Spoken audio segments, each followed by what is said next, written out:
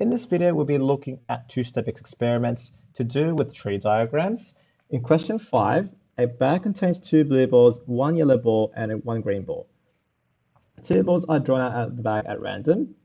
For part A, copy and complete the tree diagram to list the sample space. So I've got part of the tree diagram here. Uh, to firstly draw this, I start with the beginning here and spread out these branches that we call um, out of the tree diagram. Okay, make sure they're all spread out and not draw like this. Okay, rather than drawing like that, draw like this first. Okay, spread it all out so that you have space for the next part of it. All right, so in the first ball, okay, the first ball that we can choose can either be uh, blues, yellows, or greens. Okay, so we're going to write blue, then blue here, then yellow, then green. Okay, so we're just going to have one letter for each type of uh, color for the ball. Then once we choose the blue ball, okay, let's just choose the blue ball. We got one of these blue balls left. Now we have one blue ball to choose from, one yellow ball to choose from, and one green ball. So we'll have B, Y, and G as our second ball that's possible to choose from. Okay, now the same thing would happen if we would choose the other blue ball. So we can have a blue ball again, or yellow ball, or green ball. But if you choose the yellow ball, then you have either two blue balls and one green ball to choose from. So we'll have B, B, and G. And for the last one, if we chose one green ball, that's gone. So that means we have two blue balls and one yellow ball to choose from. So that's B, B, and Y. Great. Now, finally, what, what happens after this is you have to write down all the outcomes. So using the first letter followed by the second letter, we write all these down. This will be BB, BY, BG. Okay, that means uh, the first ball is just B, and then the second balls are B, Y, and G. Okay, so all you got to do is um, do the same thing to the rest. Okay. All right, I'm done. So, um, a very, very important thing that you should also know how to do is how many of these are there actually. Okay, don't count them one by one. The way you do this is by looking how many choices you had for the first ball, which is four, okay, that it branches out to. And then from one of these outcomes to the second ball outcome, it branches out to three of them. So if we have four times by three, okay, because each of them have three here, okay, if you know what I mean. So each each first ball has um, three balls added second outcomes. So if you do four times three here, we would get 12. So there's 12 numbers in the sample space. Now, for part B, find the probability of drawing a blue and green ball in that order. So, if we want a blue and green ball in that order, that means you have to get uh, B then G. So if you see this one, okay, that's B then G. This one's B then G. So there's a total of two out of the 12 we calculated, which is one out of six.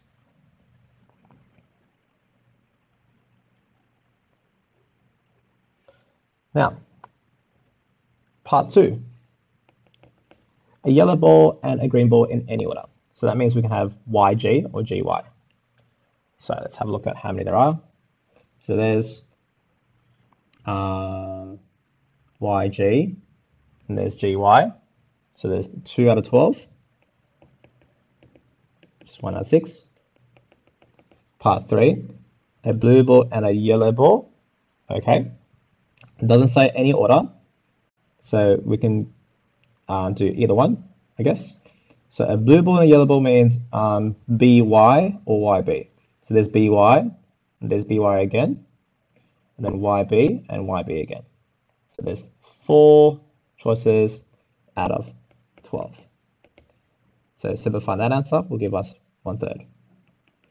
Then for part four, if we want to have at least one blue ball, that means we just have to have, out of the two letters, we must have at least one of them being a B. This is okay, this is okay, this is okay, this is okay, this is okay, this is okay, okay.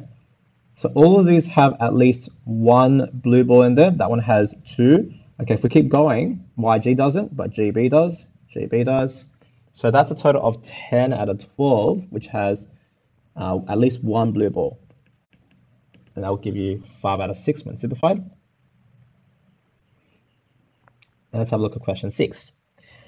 Uh, the numbers three, four, five, and 8 are written on separate cards and placed in a bag. Two cards are drawn at random, one after another, to form a two-digit number.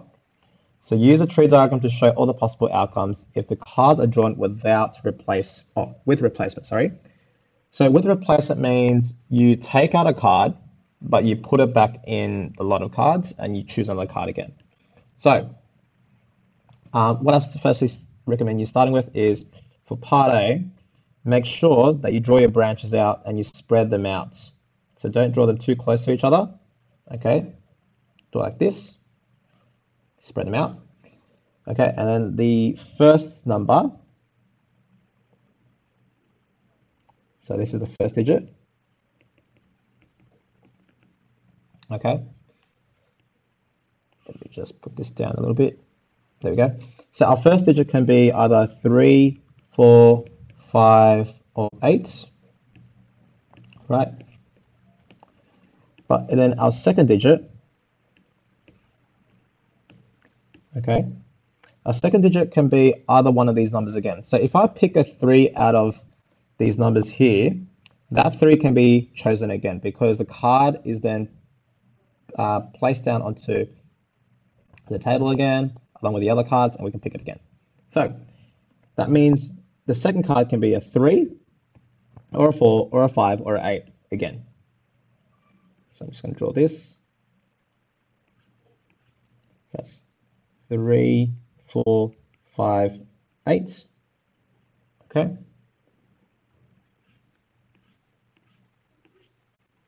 You're going to have three, four, five, eight. Okay, for the second one. And then if I choose a five first, the second cards can be also three, four, five, and eight again. And then do the same thing for the last one. Three, four, five, and eight. All right.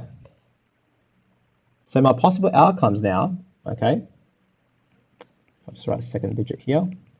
Uh, my outcomes is going to be, and let me just squeeze this in. Okay, here we go.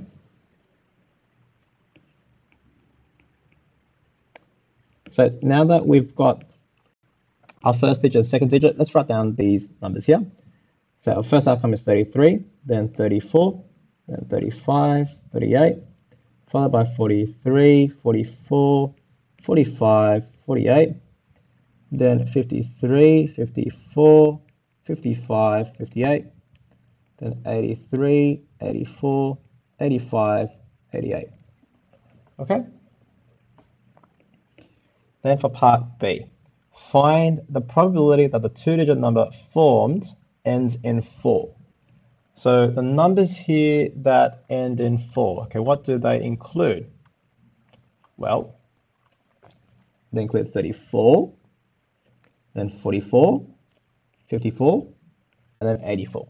So that's a total of four numbers. But remember how many these is out of.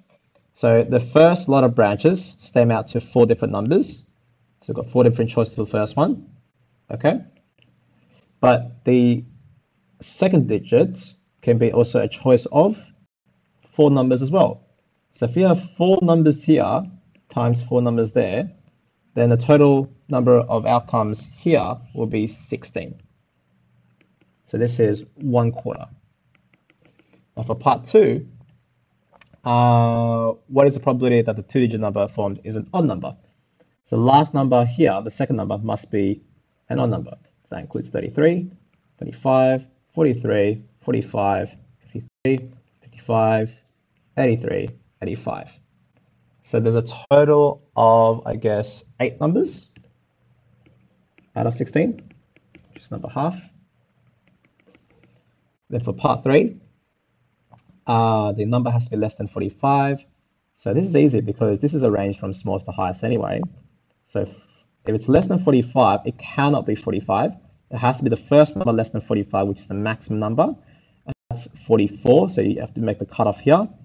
And that would be six numbers out of 16, which is 3 out of 8. Then for part 4, begins with 3 and is even. So if it begins with 3, that means the first digit has to be 3. Don't worry about all this stuff here. Then the second number has to be an even number for the whole number to be even. So out of these selection of numbers, the only numbers that we accept is 34 and 38. So that will be 2 out of 16.